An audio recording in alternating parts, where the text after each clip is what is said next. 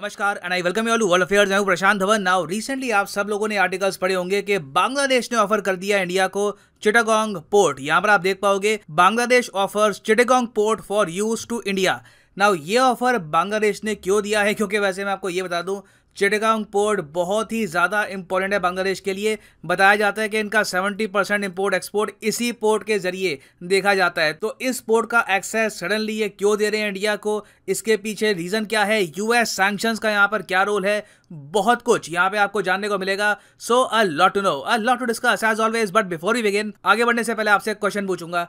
कि रिसेंटली दुनिया में पहली बार H three N eight bird flu का ह्यूमन केस कहाँ दिखा है? किस कंट्री में दिखा है? बहुत न्यूज़ में था इस पर बहुत आर्टिकल पब्लिश हुए हैं कि इस देश में पहली बार H three N eight bird flu एक इंसान को हो गया। ये है यहाँ पे आपकी ऑप्शन यूएस चाइना जापान या फिर रशिया कमेंट सेक्शन में करिए उत्तर। सही आंसर मैं आपको दूँगा वीडियो के अंत में। ना, हमारे देश के विदेश मंत्री डॉक्टर एस जयशंकर रिसेंटली दो कंट्रीज़ को विज़िट करने के लिए गए। एक तो बांग्लादेश, दूसरा देश है भूटान। ना बांग्लादेश की जो विज़िट थी इनकी, ये काफ़ी सक्सेसफुल रही है। ये जब उतरे, बांग्लादेश के विदेश मंत्री ने इनका वेलकम किया, फिर इनकी काफ़ी लंबी मीटिंग हुई डायरेक्टली शेख हसीना से, जो बांग्लादेश की प्राइम मिनिस्टर हैं। और इसी मीटिंग के दौरान शेख हसीना ने यह प्रपोज कर दिया कि इंडिया चिटागांग पोर्ट को यूज़ क्यों नहीं करता? एक इतना ज़्यादा स्ट्रेटेजिकली इंपॉर्टेंट पोर्ट है, इसको अगर इंडिया यूज़ करेगा तो जो नॉर्थ ईस्टर्न स्टेट्स हैं हमारी, उससे कनेक्टिविटी हमारी काफ़ी इंप्रूव हो सकती है, जो ऑल टुगेदर रीजन के लिए काफ़ी अच्छा होगा। और मैं आपको ये बता दूँ कि डॉक्टर अजय शंकर भी काफ़ी प्लेजेंटली सरप्राइज़ रहे होंगे कि बांग्लादेश की तरफ़ से इतना एक अच्छा ऑफ़र आ रहा है। अब यहाँ पे आपका एक बहुत ही बेसिक क्वेश्चन आ सकता है कि, सर, एक बात बताइए चिटेगोंग पोर्ट जो है, ये कैसे मिलेगा इंडिया को? कि बस हमारा हो जाएगा, हम मिलिट्री पॉइंट ऑफ़ व्यू से भी यूज़ कर लेंगे इसको। तो इसका आंसर है नहीं।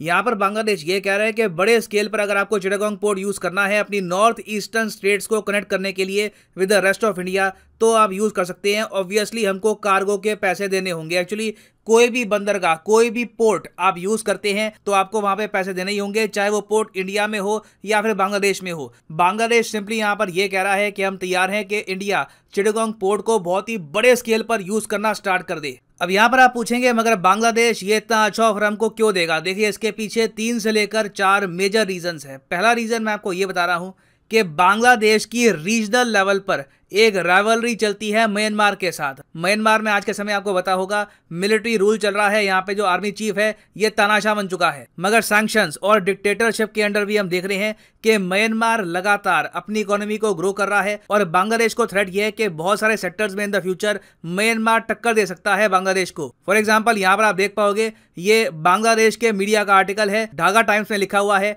कि जो म्यांमार की नई पॉलिसी है, ये थ्रेटन करती है बांग्लादेश के फार्मास्यूटिकल एक्सपोर्ट्स को। उस सब के अलावा आप अगर देखो तो बांग्लादेश ये भी जानता है कि इंडिया लॉन्ग टर्म में म्यांमार पे ज़्यादा डिपेंडेंट हो सकता है नॉर्थ ईस्ट स्टेट से कनेक्ट करने के लिए और बांग्लादेश इस रेस में पीछे छूट जाएगा। क्योंकि आपको पता कि इंडिया ने क्या किया है कि कलादान मल्टीमोड प्रोजेक्ट के अंडर हमने डेवलप कर लिया है म्यांमार में एक पोर्ट सितवे के नाम से।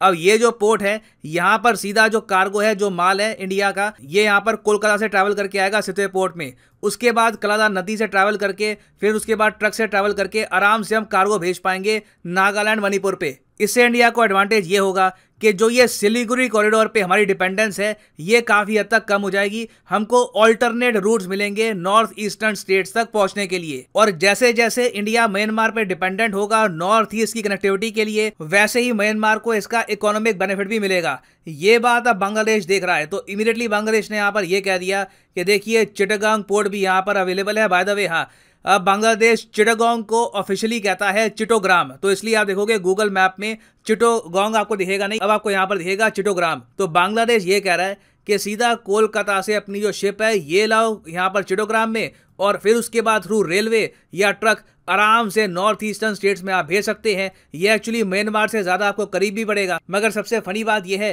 कि बांग्लादेश के जो ये ऑफ़र हैं, ये तब तक नहीं आए जब तक इंडिया ने म्यांमार के साथ बहुत सारे जो कनेक्टिविटी के प्रोजेक्ट्स हैं, ये आगे डेवलप नहीं कर लिए। ना इस सब के अलावा बांग्लादेश को ये बात पता है कि भविष्य में इंडिया बनने वाला है एक मैन्युफैक्चरिंग पावर हाउस हम ऑलरेडी उस राह पे निकल पड़े हैं। इन द फ्यूचर आप देखोगे कि इसमें मेजर डेवलपमेंट्स होंगी। ना बांग्लादेश को ये बताए कि बहुत सारी जो इंडियन कंपनीज़ हैं, वो चाहती है कि जो स्पेयर पार्ट्स की थोड़ी बहुत फैक्ट्री है, ये बांग्लादेश में भी ओपन करे। इसके लिए इनको प्रॉपर कनेक्टिविटी चाहिए होगी। ना क्या बांग्लादेश और इंडिया में अभी प्रॉपर कनेक्टिविटी है? तो इसका आंसर है नहीं।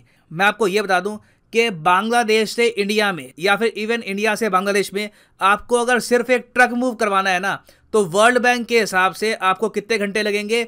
138 घंटे। मतलब के साढ़े पाँच दिन से भी ऊपर आपका समय लग जाएगा यहाँ पर। आपको पचपन सिग्नेचर चाहिए होंगे जगह जगह आपको अप्रूवल चाहिए होगी। बहुत ही लंबा प्रोसेस है। एक बार को मैं आपको ये बता दूँ यूएई सऊदी अरेबिया या फिर इवन कई यूरोपियन कंट्रीज़ को एक्सपोर्ट करना आसान है आज के समय कंपेयर टू बांग्लादेश तो इवन दो इंडिया और बांग्लादेश के बीच में आज के समय कुछ ट्रेन चलती हैं मगर ज़्यादातर जो ये ट्रेन है पैसेंजर्स के लिए है, जो फ्राइट ट्रेन है माल्ट होने ट्रेन ये सिर्फ़ दो है। ओवरऑल इंडिया बांग्लादेश की कनेक्टिविटी जो हो सकती है, उतनी अभी तक नहीं हुई है। तो ये देखते हुए भी शेख हसीना ने यह कहा है कि चिटागांग पोर्ट का आप यूज़ कर लीजिए। इससे ऑल टुगेदर बांग्लादेश की मार्केट में एक्सेस करने में भी आपको आसानी होगी। ये रोड का जो यहाँ पर रूट है, उससे भी आसान रास्ता है। ना फिर बात आती है अमेरिकन सैंक्शन की। अब यहाँ पर आप कहोगे, वेट बांग्लादेश पर अमेरिकन सैंक्शन और ये लोग इंडिया की हेल्प चाहते हैं? तो इसका आंसर है हाँ बिल्कुल, यहाँ पर आप देख पाओगे, द डेली स्टार, बांग्लादेश का मीडिया आउटलेट है। ये लोग यहाँ पर कह रहे हैं कि इंडिया ने डिक्लाइन कर दिया कोई भी comment on Momen's seeking help with RAB sanction Momen Bangladesh के विदेश मंत्री हैं। इन्होंने अजय शंकर साहब को यह कह दिया कि देखिए अमेरिका ने सैंक्शन लगा रखे हैं। आपकी अमेरिका से वैसी काफ़ी बातचीत होती है। हम पर सैंक्शन हटवा दो। अजय शंकर साहब ने ना यस कहा, ना नो कहा कहा कि वी विल सी देखते हैं अभी इसमें होता क्या है। अब यहाँ पर आप कहोगे वेट बांग्लादेश पर अमेरिकन सैंक्शन कब लगे? देखो, एक टाइम पर बांग्लादेश में बहुत ज़्यादा क्राइम हो गया था, यहाँ पर स्मगलिंग काफ़ी बढ़ गई थी तो प्राइम मिनिस्टर ऑफ़ बांग्लादेश ने सीधा अपने अंडर एक स्पेशल टाइप की बटालियन बनाई, जहाँ पे इन्होंने आर्मी के सोल्जर्स को उतार दिया देश में क्राइम कम करने के लिए। इस बटालियन का नाम है आरएबी मतलब कि rapid action battalion now USA ने बांग्लादेश पर सैंक्शंस इसलिए लगाए हैं क्योंकि यूएस मानता है कि बांग्लादेश की करंट गवर्नमेंट जो आरएबी है, इसका गलत यूज़ कर रही है। जो भी बांग्लादेश की करंट गवर्नमेंट के अगेंस्ट बोलता है, उसके खिलाफ एक्शन लिया जाता है थ्रू दी आरएबी और काफ़ी बार ह्यूमन राइट्स वायलेशन भी किए हैं इस आरएबी ने। इसलिए यूएसए ने इस बांग्लादेश की नई बटालियन की वजह से बांग्लादेश पर लगा दिए रहे सैंक्शंस और बांग्लादेश चाहता है कि जल्दी से जल्दी ये सैंक्शंस रिमूव कर दिए जाएँ। तो यहाँ पर आप समझ सकते हैं कि इंडिया और बांग्लादेश के बीच में जो रिलेशंस हैं, वहाँ पर क्या प्रॉब्लम्स हैं, क्या अपॉर्चुनिटीज़ है। ऐसा नहीं है कि बांग्लादेश बस फिदा हो गया जयशंकर साहब की इंग्लिश पर और उन्होंने कहा कि, सर, आपने जैसे यूएसए को जवाब दिया था ना too good too good Chittagong port आपका ऐसा कुछ नहीं हुआ। बांग्लादेश को भी कुछ चाहिए, उसके बदले में वो हमको कुछ ऑफ़र कर रहे हैं। देखना ये होगा कि इंडिया ये ऑफ़र पिकअप करता है या नहीं करता। ऑब्वियसली ये हम ऑफ़र लेंगे तो कहीं ना कहीं बांग्लादेश की हेल्प भी करनी पड़ेगी सैंक्शंस के मामले में, और जगह भी कनेक्टिविटी के मामले में भी। तो ऑब्वियसली इंडिया इस ऑफ़र को जांचेगा, परखेगा, फिर हम सोचेंगे कि हमको यहाँ पर यह पोर्ट यूज़ करना चाहिए या फिर नहीं। और हाँ आप सब लोगों के लिए काफ़ी अच्छी न्यूज़ है, जो 20 परसेंट डिस्काउंट है अन अकेडमी का। ये दो दिन के लिए एक्सटेंड कर दिया गया है। बहुत से लोगों ने वेरियस कोर्सेज परचेज किए हैं on Unacademy in the last two days क्योंकि डिस्काउंट बहुत ज़्यादा हो गया था। सीधा 10 परसेंट से 20 percent after many many weeks तो दो दिन के लिए ये डिस्काउंट एक्सटेंड कर दिया गया है। अब ये डिस्काउंट 30 तारीख के अंत में ख़त्म हो जाएगा। तो अभी भी आपके पास चांस है कमेंट सेक्शन में जाइए। जिस एग्ज़ाम की आप तैयारी कर रहे हैं, यहाँ पे उस लिंक पे आप कर सकते हैं क्लिक फॉर एग्जांपल आप प्रिपेयर कर रहे हैं यूपीएससी पर। यूपीएससी के लिंक पर क्लिक करिए और यहाँ पर आप 20 परसेंट डिस्काउंट के साथ परचेज कर सकते हैं कॉम्बो कोर्स जिसके अंडर आपका यूपीएससी प्रीलिम्स मेंस ऑप्शनल तीनों की ही तैयारी की जाएगी। तो सिंपली यहाँ पे आपको क्लिक करना है पिके प्लान पर और जो भी यहाँ पे आप कोर्स परचेज करना चाहते हैं, ये आप कर सकते हैं परचेज बट सीधा ट्वेंटी डिस्काउंट प्राप्त करने के लिए कोड यहाँ पर यूज़ करिए पीरी टेन और प्राइसेस गिरना शुरू हो जाएँगे। You will get flat twenty percent discount ये डिस्काउंट बाद में टेन परसेंट बन जाएगा after the sale end so use the code piri ten and save your hard and money so इसी नोट के साथ ये है video Kant thank you for listening and as always God bless you all